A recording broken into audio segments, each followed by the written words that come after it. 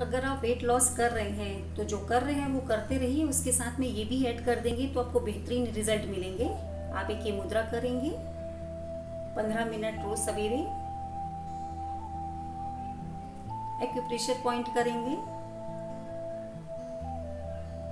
ये नाक और होठ के बीच वाले हिस्से में हल्का सा प्रेशर देंगे यहाँ पे।